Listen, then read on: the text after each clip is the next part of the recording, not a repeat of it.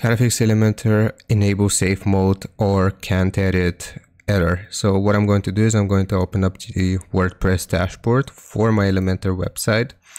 And here what we have to do is we have to go into plugins, hover over plugins and then click on installed plugins.